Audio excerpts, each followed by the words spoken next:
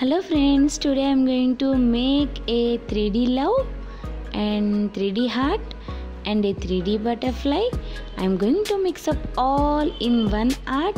I hope you all like this and thank you so much friends for your beautiful support and kind messages and please keep supporting me and friends don't forget to like, share, subscribe and comment.